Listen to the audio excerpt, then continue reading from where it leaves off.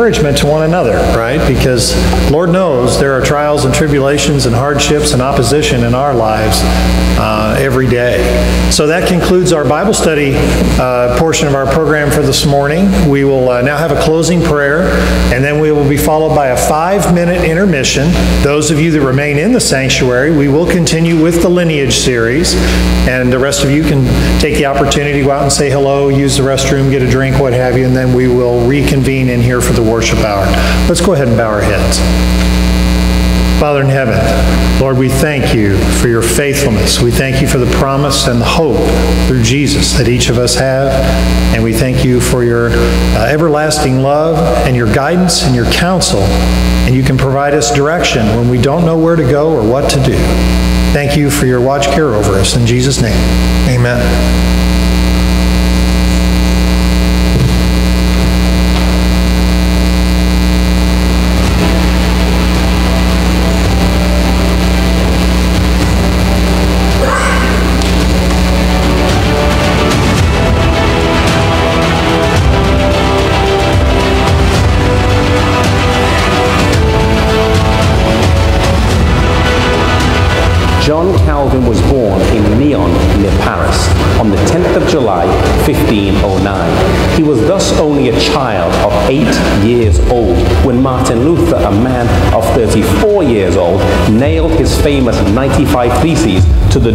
Church in Wittenberg.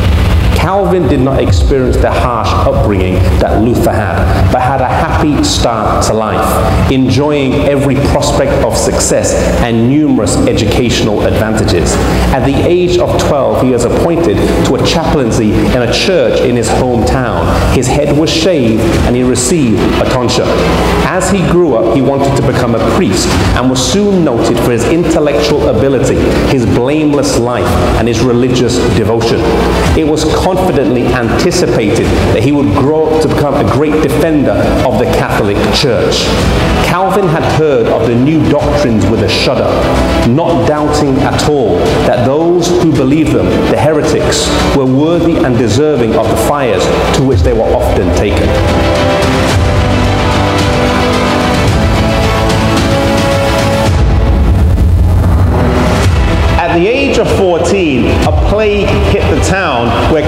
Was living, and so he moved from his town here to Paris and studied at the University of Paris. An interesting coincidence took place whereby one of his fellow pupils was a boy by the name of Ignatius Loyola. Ignatius Loyola would grow up to found the Jesuits, a movement very, very different from the one that Calvin would lead later in his life. Two pupils, both outstanding, but who would both have a vastly different impact on the world.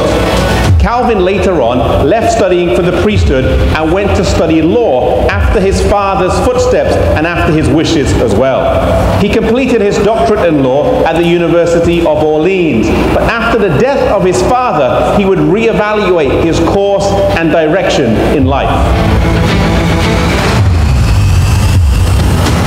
Calvin's cousin had joined with the reformers, and whilst in public when speaking with him, Calvin would strongly defend the positions of the church and reject new teachings. When he was alone, he would ponder the words. Conviction of sin gripped him. He saw himself without an intercessor. Confession and penance were resorted to in vain, but none could bring about peace. One day he decided to visit a public square and he witnessed the burning of a martyr. He was filled with wonder at the expression of peace that was on his face and he contrasted this with his own feelings of emptiness, doubt, and darkness. He knew that the martyrs rested their faith on God's word and so he proposed that he would study the Bible to see if he could find the secret of their joy. As he studied the Bible, he found Jesus Christ. For sure when Calvin experienced conversion, but that he did is not open to question. His conversion was definite enough to cause him to relinquish all income from church sources and abandon any idea of entering the legal profession. This decision would have been costly, causing him to give up an immense salary and all comforts that he was accustomed to in life. Calvin joined a small band of Protestants and preached the gospel from home to home for two years. The authorities were determined to capture him and kill him, and they came to his place of abode. But due to the quick thinking of some of his friends, they detained the officers at the door for long enough to allow others to lower him out of the window, and he was able to flee the city. Thing that we learn from the life of Calvin is that no matter what you start out doing in life, it doesn't have to be that way for the rest of your life. He started out wanting to be a priest. His father wanted him to be a lawyer. He ended up doing neither of these things and would go on to be a great reformer who changed the face of the whole of Christendom. Maybe you're in a course of study that you don't really enjoy or know why you're there. Maybe you're doing something that your parents have imposed upon you and that you don't really feel is your calling. And God may be calling you to something different. And I want to appeal to you that if that is the case, then follow the leading of the Lord. You may have to change your course of study. You may have to change your occupation. But when you do that, that's when true satisfaction, purpose, and meaning comes in our lives.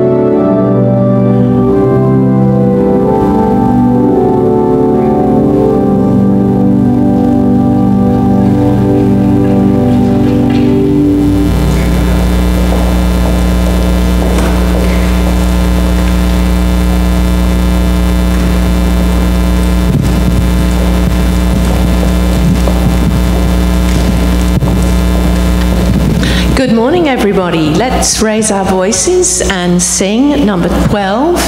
Joyful, joyful, we adore thee. Number 12.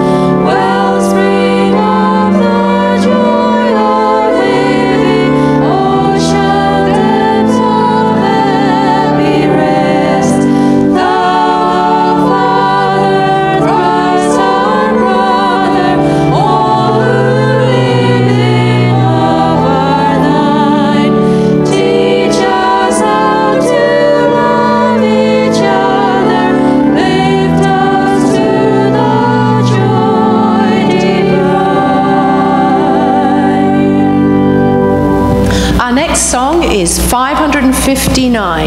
559.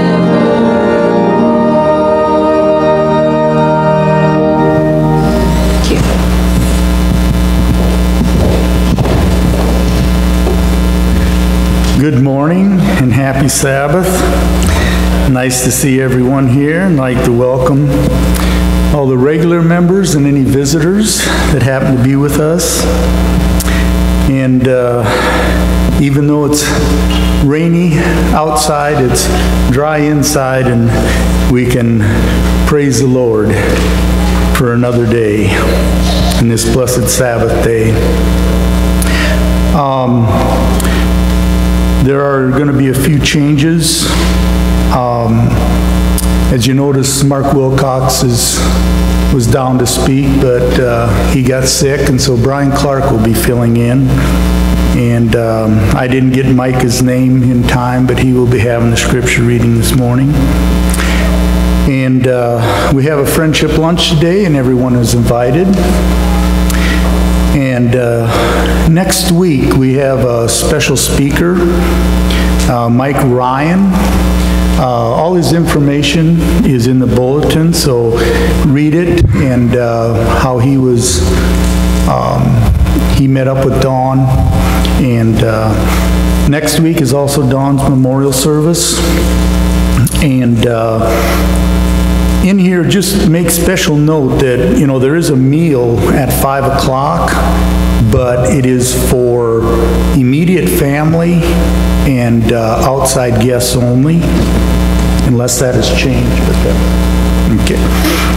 And so then her service will be at 6:30, and then uh, we are invited to uh, have some desserts after some of Dawn's favorite desserts. And uh, just make sure that you look through your bulletin and uh, a lot of information and things coming up.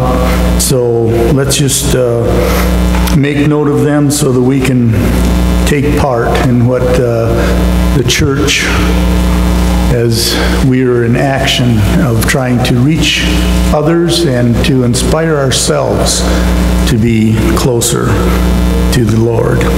So now we'll continue with our service and we'll have the introit, 694, page 694.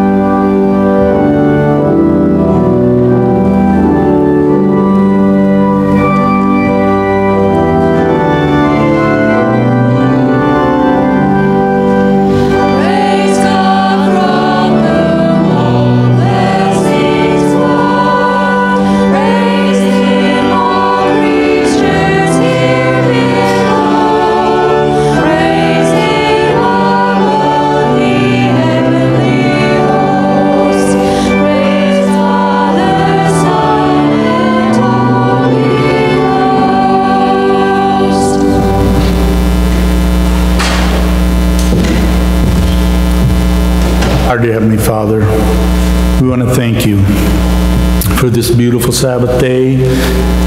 And uh, even though it is raining outside, Lord, we, it is raining showers of blessings. And we just want to thank you for your great love and grace that you have for each and every one and for bringing us safely here through another week as we know that the devil is working hard to discourage and to lead us astray, and that we will always keep our minds on Thee, and that you'll have a special blessing for each and every one here today. And we just thank you for thy great love. In thy name, amen.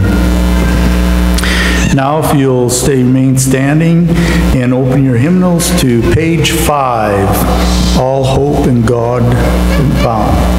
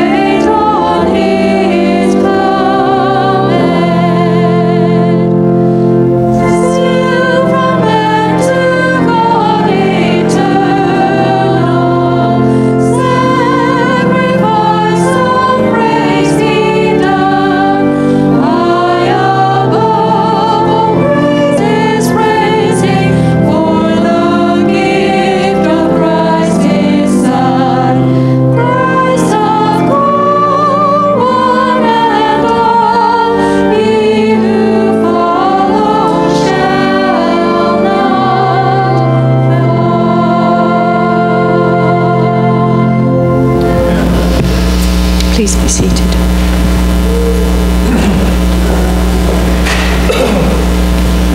Happy Sabbath.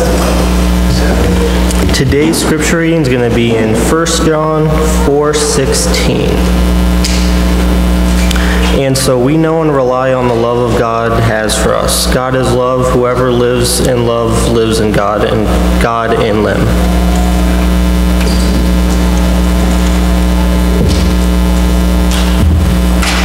Now shall we kneel as far as possible in prayer.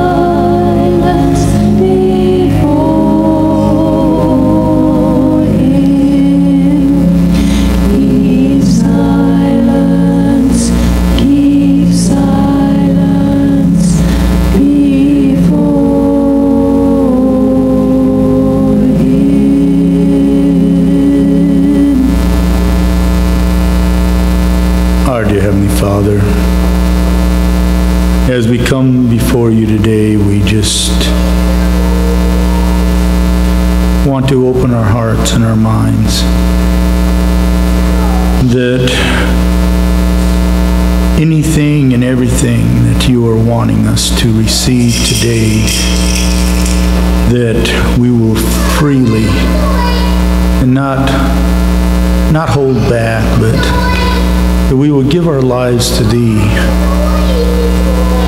and that we will receive the blessings that You have for each and every one of us. And we just ask You bless each and every one here today in a very special way. Be with those that are not able to be here today for whatever reason, that Thou give them a blessed Sabbath. And be with those that are sick and suffering, and for those that are having problems, Lord. We ask especially that you be with the weeks in their time of need, and be with Roby, help him to have a good recovery. And Lord, there are so many others, and we just pray that Thou will bless and give them the strength to meet the challenges of whatever it is it has, but that your will will be done in their lives. Lord, we pray for those that are in harm's way, for all the soldiers and police officers, firefighters that go every day and uh, are unsure if they will come home or what, and be with their families, give them strength, keep them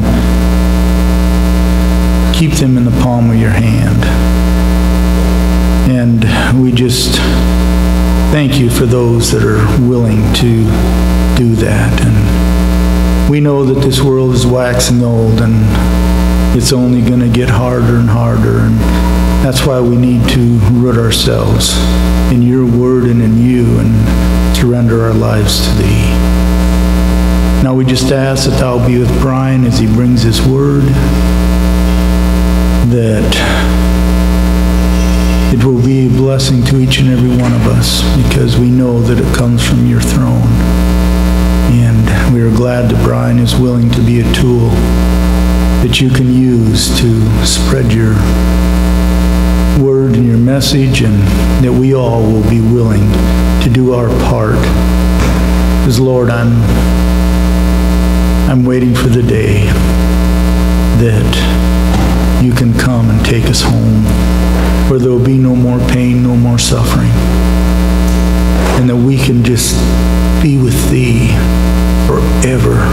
I know it's incomprehensible, Lord, but that is what we all long for. And so we just thank you for the grace and the sacrifice that you made to make this all possible. In thy name, amen.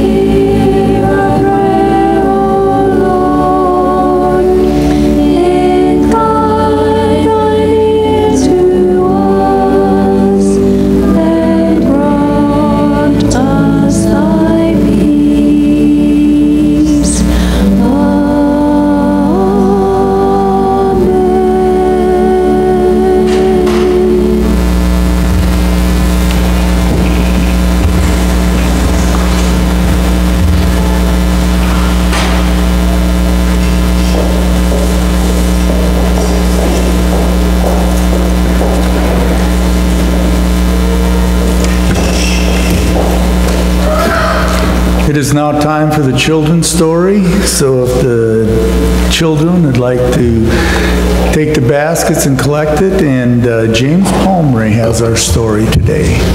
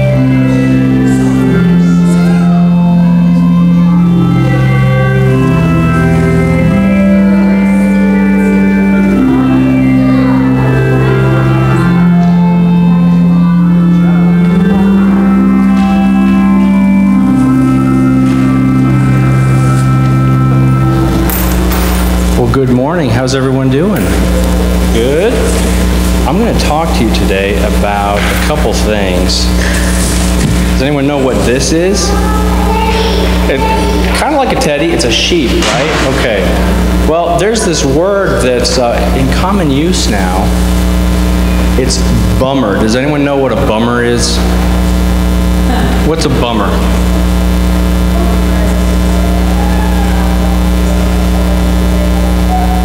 Yeah, that's a, that's a bummer.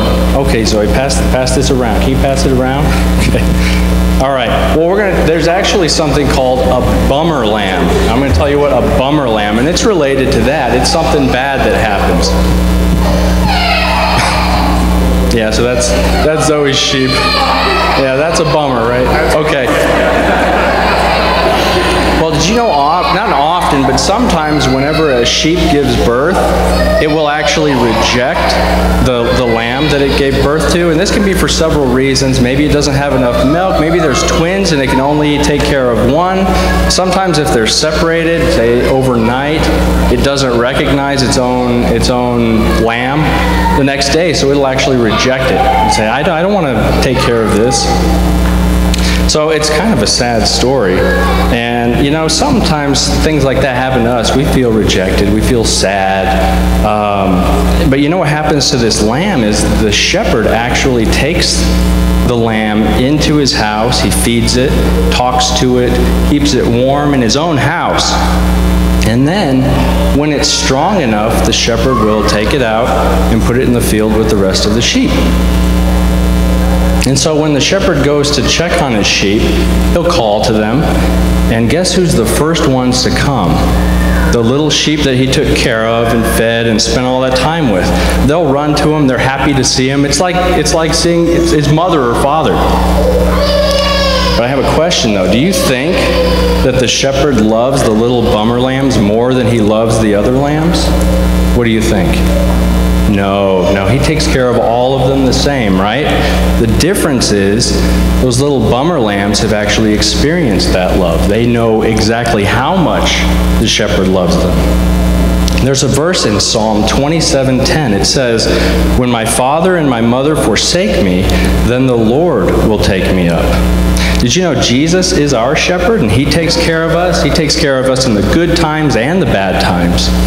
And he wants to spend extra time with us. You know, he's made food for us to eat, but he's also given us the Bible. And you know, a lot of people don't realize this, but when you read the Bible, that's Jesus actually talking to you. So John 10, 27 says, My sheep hear my voice, and I know them, and they follow me. So the more time we spend with Jesus, reading what he has to say or listening to it when someone reads it to us, the better we're going to know him and appreciate the love that he has for us. And then when he comes to call us, we're going to be excited to see him too. So let's let's make sure that we spend a lot of time studying his word so we get to know him really well. All right, you can go sit down.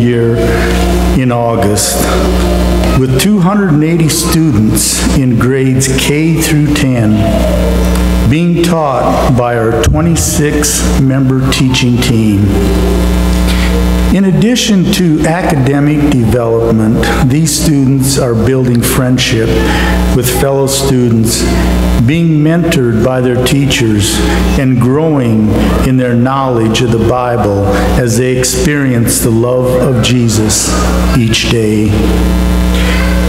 Your prayers and ongoing support of the combined youth ministry funds will help ensure our elementary schools, along with Sunnydale Academy and our summer camp programs, remain vibrant centers of ministry to our young people. Please consider a monthly gift. It's an investment that pays heavenly dividends. Would the ushers please come forward?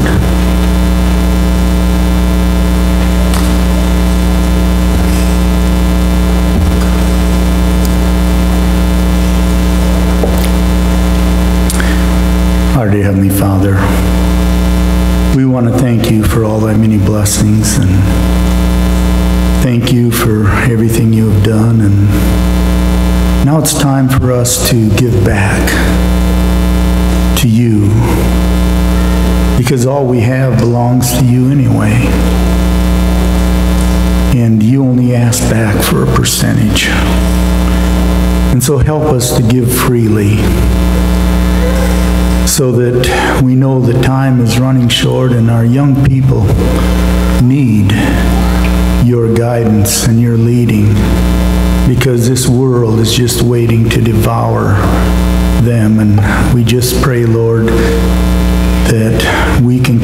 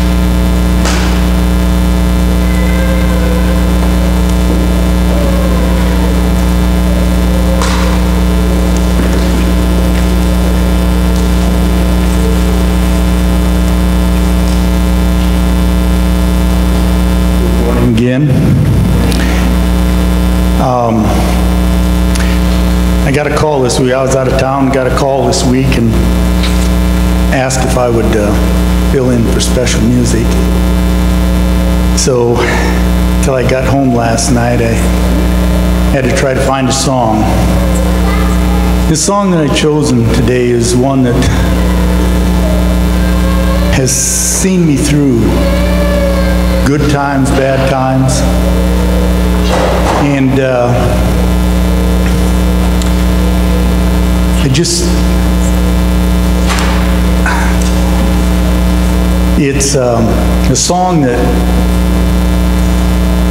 without the Lord in our lives, we're not going to make it. And today is what's important. Not yesterday, not tomorrow, but today. Today is what is important that we live for Jesus today.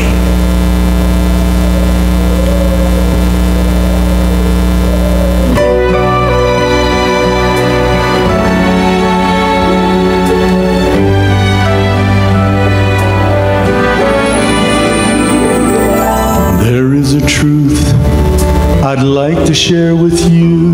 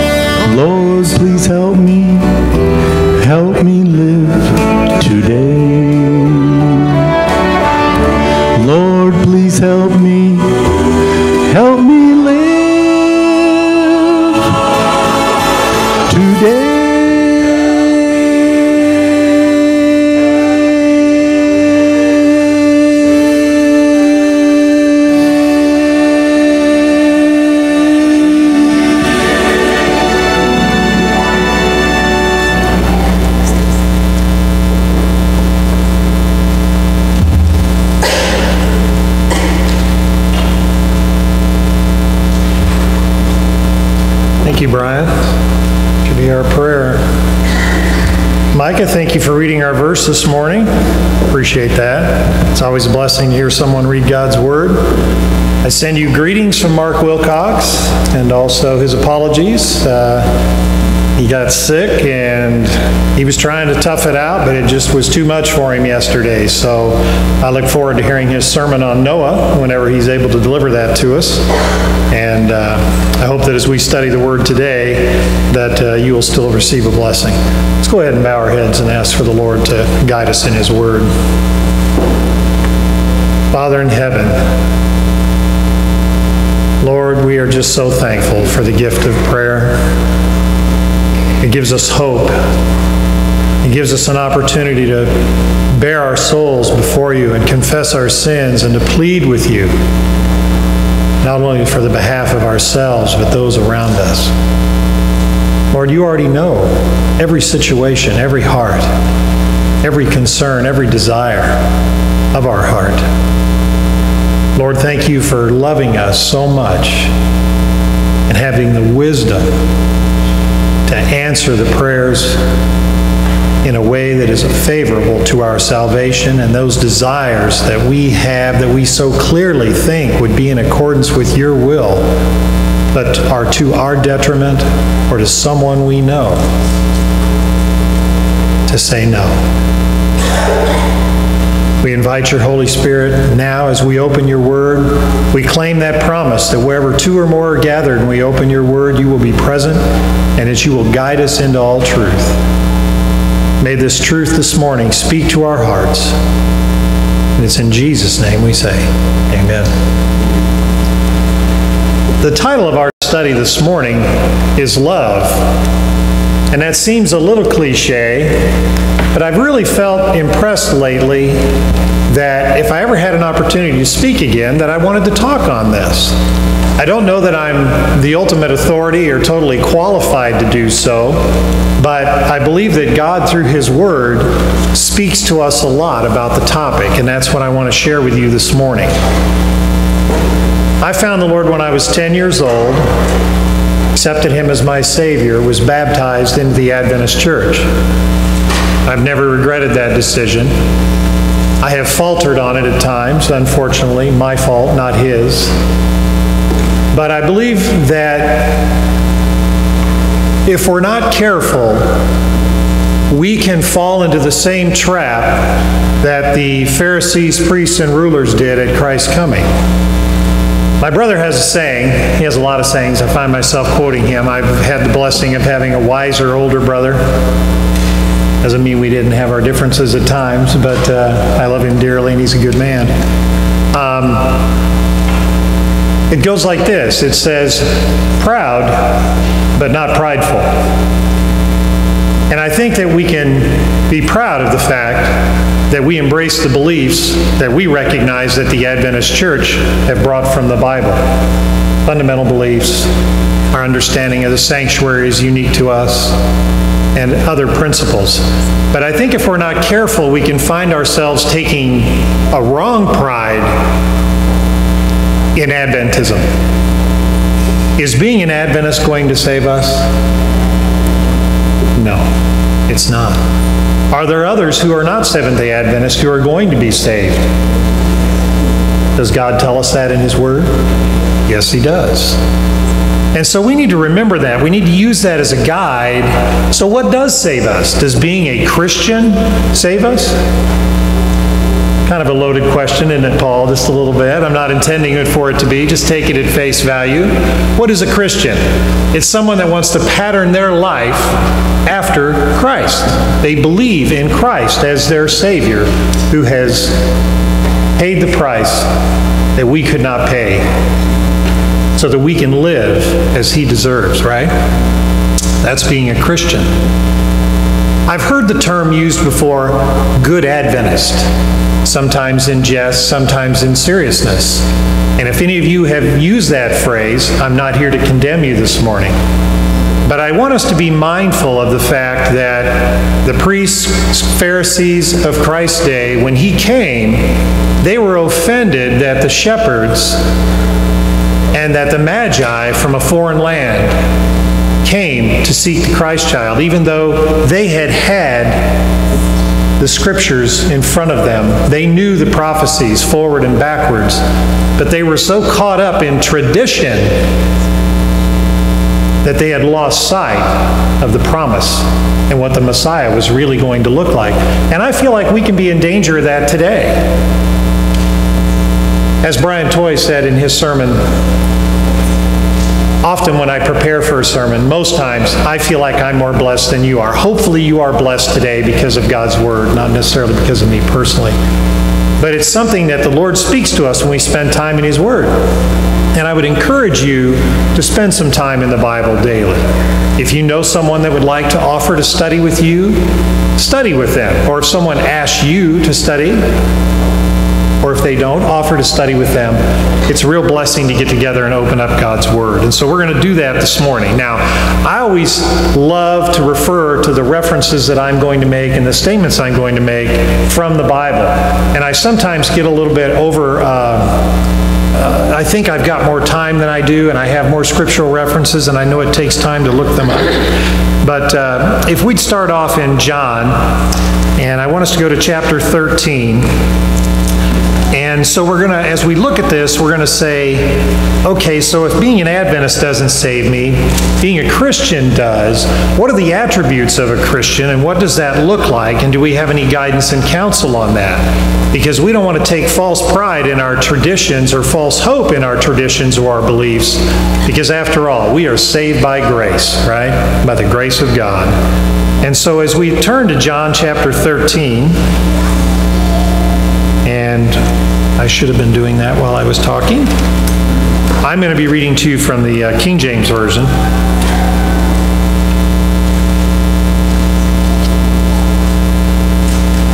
John chapter 13, verse 34 and 35. I have a red letter edition, which I kind of like because it helps remind me of who's speaking. Who's speaking here, if anyone else has one?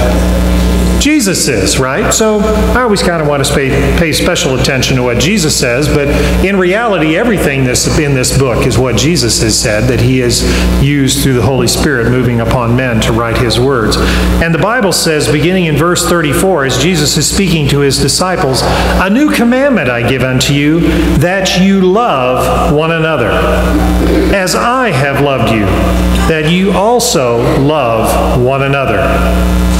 Then he goes on to say in verse 35 By this shall all men know that you are my disciples, if you have love one to another. A lot of things have been done throughout history around the world in the name of the Lord and under the guise of Christianity, and a lot of them do not represent love in any form or fashion. So I would ask you this morning question that I ask myself is what I'm doing, does that represent love? Am I following the commandment that Christ gave as disciples of Him? Am I showing love? I grew up thinking that music was a, a, very important part of my life, and unfortunately, I listened to a lot of the wrong kind of music. But during my childhood, as I grew up, there was a song called All You Need Is Love. I think of another song, I think, I won't name the author, I'm not sure, but it's uh, What the World Needs Now is Love. Sweet love, right? Is that true? It is. So, what separates the love that we have from the love that some of the other groups that we know that are in the world today that are good people who are out working with the homeless, feeding the hungry, clothing them, and claiming they have no need of God, but yet they're good people. Are they good people? Nobody wants to answer that, do you? That's, that's a tough question, isn't it? Only God knows their heart and their motive. We do not.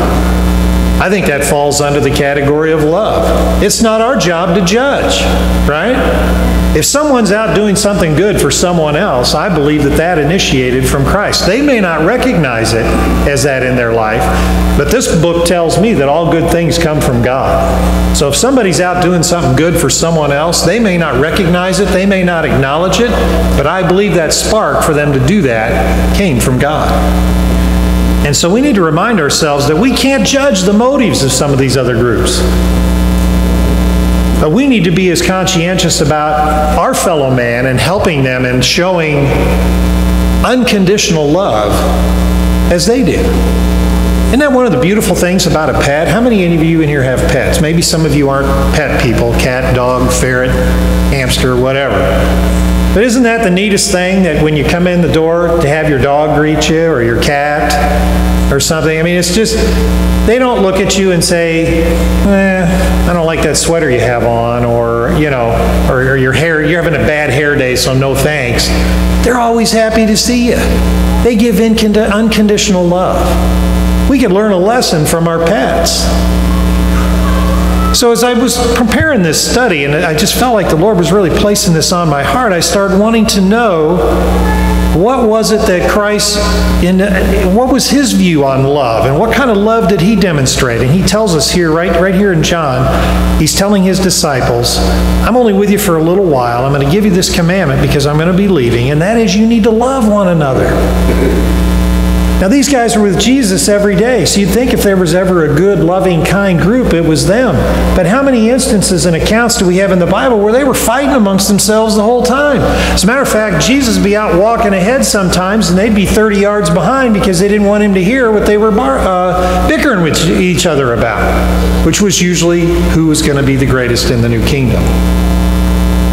Pride, one of the original sins, one of the first sins, has caused many a man and woman to fall and lose sight of their dependence on God.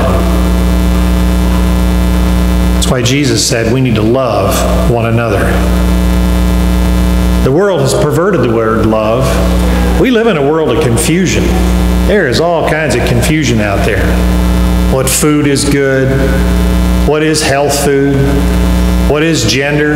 I, I, I, don't even, I lost count of the track of how many genders they're saying are now, and, and there's gender confusion in the world. Um, there's confusion about who God is. Satan is the author of confusion, folks. If you haven't figured that out yet, he's the guy. Because the more confused he can keep us, the more he can deceive us.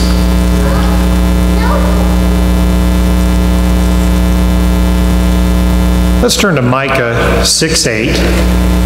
Micah 6 8. Micah, a minor prophet. Sometimes kind of hard to find some of these books in the Bible. Most of you probably know this one by heart. Um, somebody here, I'm trying to remember who it was right off, used to have that as their signature in their email. Micah 6 8.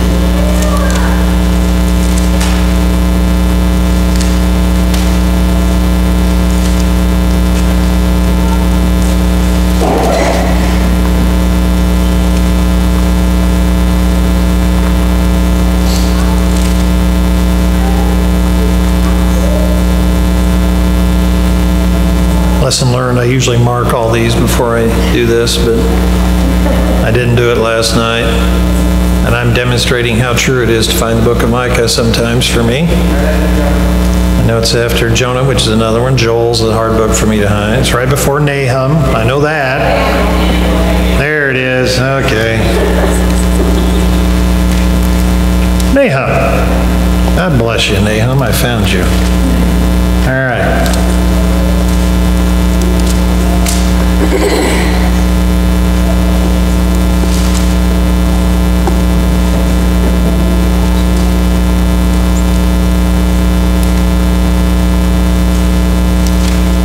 going to be good when I get there. All right. Micah 6, verse 8. I should have just quoted it. He hath showed thee, O man, what is good. And what doth the Lord require of thee? Isn't that a question that we often ask ourselves?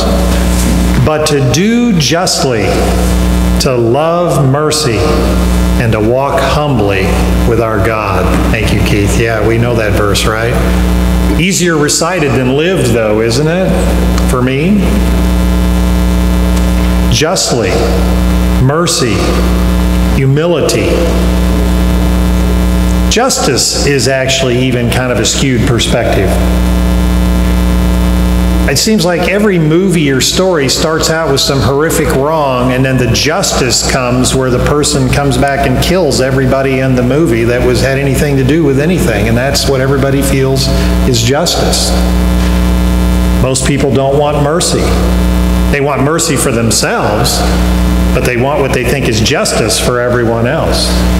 I'm so thankful for God and His mercy for me because if it were not for grace and for His mercy, I would not have a prayer.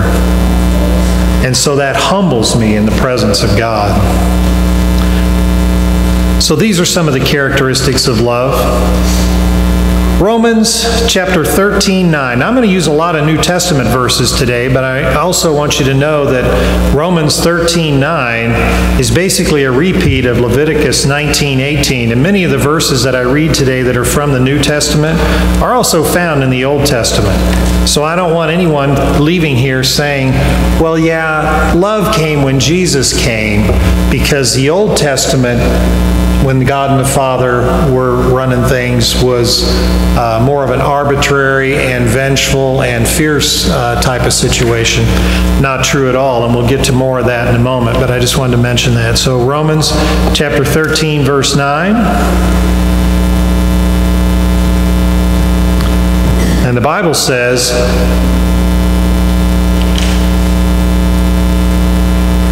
For this thou shalt not. Wait a second.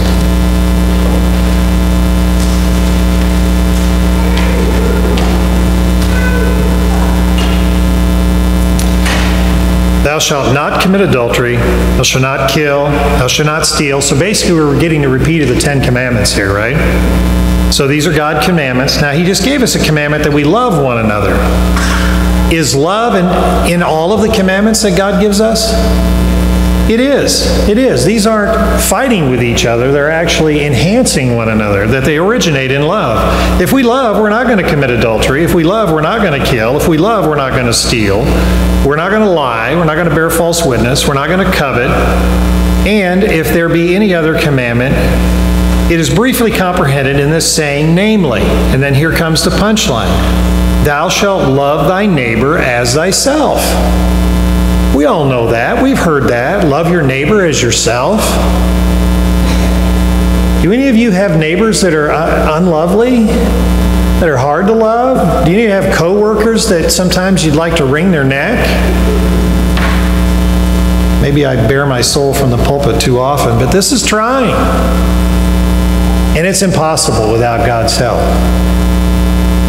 But it is an attribute of Christ. And if we are going to claim to be a Christian, we need to be able to ask God for the power to be able to love that person. After all, we're unlovely, we're sinful, we're broken, we're undeserving, but God loves us. So if we're going to receive His love, we have to be willing to share that love with others, do we not? 1 John chapter 4 Let's define love, because I think confusion of love in the world. Often love is equated to sex and material goods and, and other things. But let's look at a definition, a true definition of what love is. 1 John 4, and again, most of you can probably recite this 1 John 4, 7 and 8, and we're also going to read verse 10. 1 John 4, verse 7 begins with, Beloved, let us love one another. So, were there some problems in the early church? Was there probably some disputes going on? Envy, jealousy, I'm right, you're wrong?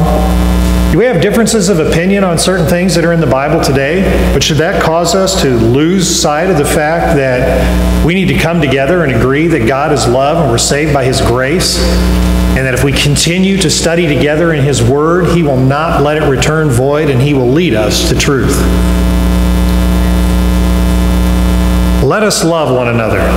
Where does love come from? What's that next verse say? Love is of God. That's where love originates. It's from God, God the Father. And everyone that loveth is born of God and knows God. He that loveth not God, or God is love. He that loveth not knoweth not God. Ooh. Hmm. Really? He that loveth not knoweth not God. That's what it says. For God is love. So if we claim to know God and He's our Savior and we want to follow Him, we want to emulate His character, we want our filthy, righteous, unrighteous righteousness to be covered with His, we have to have love. Where does love originate from? From God. We just established that. So isn't it good to know the source? And isn't it good to know the source is ready and willing to give that love to us if we ask for it? And also to give that love for others? And then verse 10 Herein is love, not that we loved God, but that He loved us. We have this tendency to puff ourselves up and think that we're really doing something great because we do this. But it's not because we love God, but because God loved us. And out of that love that God the Father had, the plan of salvation that was prepared before the foundation of the world, He sent His Son to be the propitiation for our sins. That is the greatest demonstration of love that has ever been given. Do you ever think about that at times? Do you ever wonder, why did God bother with us? He, he, is, he is so majestic and omnipotent and just could have spoke it all away and started over again. But to go through this whole process, the plan of salvation is blows my mind. But it's the greatest attribute and proof of his love. It's not dictated, it's not commanded, it's not created, it's demonstrated. He is bound by his own character, which is love. And I like to know that I serve a God that never changes, that he is always going to be that loving God.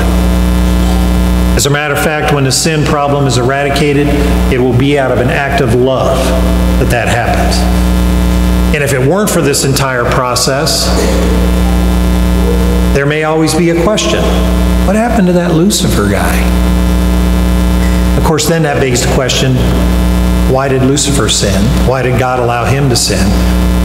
Freedom of choice has had a much higher price than we can ever imagine. But love by freedom of choice is the only true love that there is. It is the greatest freedom that there is. Satan lies to us and would make us to believe that we are handcuffed, that we are um, not of our free will, that this is being forced on us, when really sin is what we're a slave to. He's the taskmaster. God is a God to set us free, and He does that through His love. And He's demonstrated that through the plan of salvation with His Son, Jesus. John 3:16 going to help us define love. Do we need to turn to that? For God so loved the world, right? So, in case there's any doubt, this book often repeats God's love. I like the way the Bible is written because it not only repeats, but it moves in and magnifies and amplifies the message. John 3:16 that God so loved the world that he gave his only begotten Son. For who? For just a select group of people? For whomsoever, right? Are we those people? Are we whosoever? I hope so. I hope that we claim that promise and I hope that we believe. And if we believe in him, we should not perish but have everlasting life. And then verse 17 often doesn't get read in conjunction, but I think it's important. And it says, verse 17, For God sent not his Son into the world to condemn the world, but that the world through him might be saved. You see, Jesus reconnected us with God. When sin occurred in the garden, it broke the bond between God and mankind. It would never be the same. When Jesus came to reestablish that bond, he reconnected us with God. And it is written that we already know God loves us. We can't we just can't grasp the depth of that love, even though we talk about it, we have analogies for it, we read it in His Word. It's almost incomprehensible because it's such a pure, the width, the depth, the height of God's love is more than our minds can comprehend. But the fact that he loves his own son more because of his sacrifice for us. This really points me to John chapter 17. Do you ever just turn to John chapter 17 and read Jesus' prayer? You should. It's moving. And Jesus talks about, I am you, and they are in me, and we are one.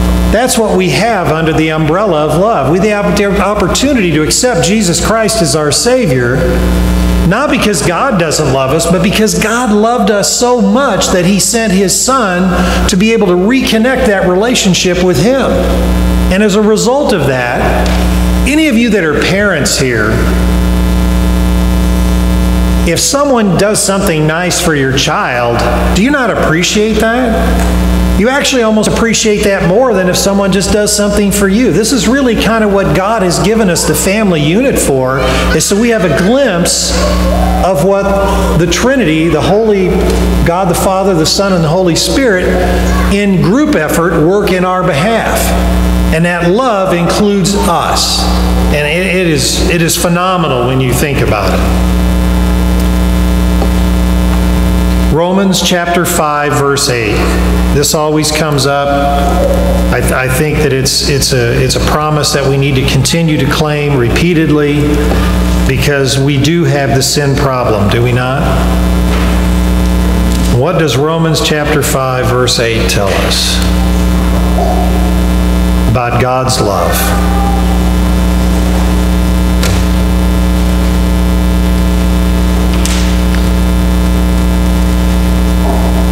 But God commendeth his love. Verse 8. Are you there? By verse 8. But God commendeth his love towards us in that once we become perfect, isn't that what your version says? No? Oh, while we were yet sinners, he commendeth his love towards us and that while we were yet sinners, Christ died for us. So he doesn't expect us to be perfect to come to him. His appeal is come as you are. As a matter of fact, he sent his son to die for some before they even knew who he was. That's what the whole sacrificial system was set up for. People in the Old Testament of the Bible were looking forward in faith to what that sacrifice was going to be. People of the New Testament after his death, and us included in that, are looking back and claiming that sacrifice. But that was done for the atonement of sin for anyone who would accept it. Do I hear an amen? Praise God. John chapter 14. You know, I don't think it's any coincidence that a lot of my verses are found in the book of John because John is referred to the disciple who loved Christ most, right? I think that's kind of interesting. John chapter 14, verse 15.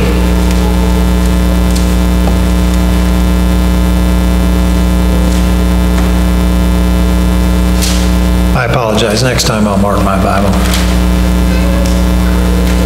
I always like to hear the pages turning, though. All right. 14, verse 15. This is a red letter verse again. And verse 15 says, If you love me, keep my commandments. Now, we just read some of the commandments, but we also read the commandment to the disciples. And what was that commandment? Love one another, right? So, can we keep the Ten Commandments without keeping the commandment to love one another? Not at all. Not at all. And who can give us the power to do that? Only God. And then let's just turn back one chapter to John 13, 34 and read that again, just because it's right there. It's actually just right above it in my Bible. And it says that new commandment that I give you is that you love one another. And then did Jesus give us an example for everything? He did. And he says, As I have loved you. So he's not asking us to do anything that he wouldn't do himself, is he? And then this is the verse that weighs the heaviest on my heart because I struggle with being able to have love for everyone. I'm going to be honest with you, I have a tough time with that. I'm not a real people person. Um, people annoy me, they frustrate me, they disappoint me. But God is showing that, you know what, I do that to other people as well. So you think I'd be a little more forgiving with that, wouldn't you? and he's trying to teach me that. So as I look at 1 John chapter 4 verse 20, this is a very sobering verse for me. Many of you no doubt know what it is already. Verse 19, if we love him because he first loved us. And then verse 20, if a man says that I love God and he hates his brother, he's a liar. Wow, that's really strong words. If you say that you love God and yet you hate your brother, you're a liar.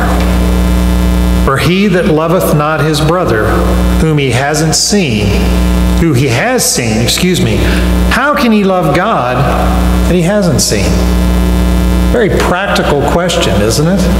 How can you claim to love God that honestly you can't prove exists other than your own personal experience and faith in his word? But someone that you can see, feel, touch, you can't get along with. That is not demonstrating the true character of Christ. We need to pray that He can help us to love one another, to see others as God sees us. Someone that's on a journey in a troubled place in a foreign land that wants to get to our eternal home. And we need to do all that we can to help one another to get there. It is not our job to judge. Sin is the same in the eyes of God. Your sin is no worse than mine. Mine is no horrific than yours. We tend to categorize sin, don't we? That's a dangerous thing.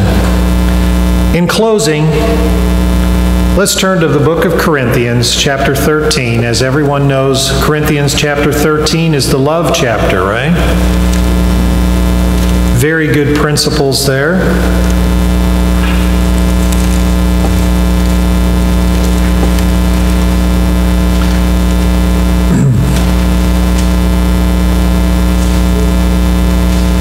First Corinthians chapter 13. And it goes through it. It lists all these things that we can do that others might, or even ourselves, might consider to be the acts of a good person. But it tells us if we don't have love, it's of no value. Let's read, let's begin reading at verse, uh, in chapter 13. Let's read verse 12 and 13, which is at the end of the chapter. And it's gone through and told us all these things about what real love is. And it says in verse 12, the Bible says, For now we see through a glass darkly, but then face to face. When we meet Jesus, we'll see real love. We'll see true love. Now I know in part, but then I shall know even as I also am known. And in verse 13, now abides faith, hope, and charity, which that word charity is often substituted with the word love. These three, but of the greatest of these is love. And that was my message this morning. I hope that uh, the Lord would encourage you to be loving, be kind, be faithful and true, and to pray for the strength to do so because I'll guarantee you somebody's going to test you. Might even be me. But uh, I appreciate all of you, and I just hope that uh, we can walk in the way that the Lord would have us to. I changed the closing song this morning to number 579. Thank you, George and Jay, for making that change. Number 579.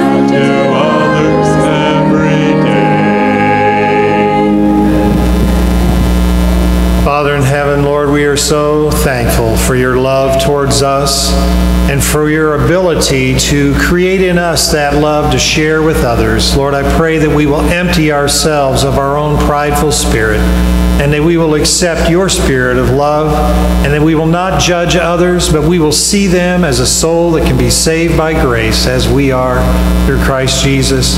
May we leave this place be loving and kind because the doctrines that we have no one cares to hear if we're not a loving, kind person to start with. Lord, thank you for seeing not what we are, but what we can be through you, and for offering forgiveness through your Son's atonement for our sins. And it's through his name we claim these promises today. Amen.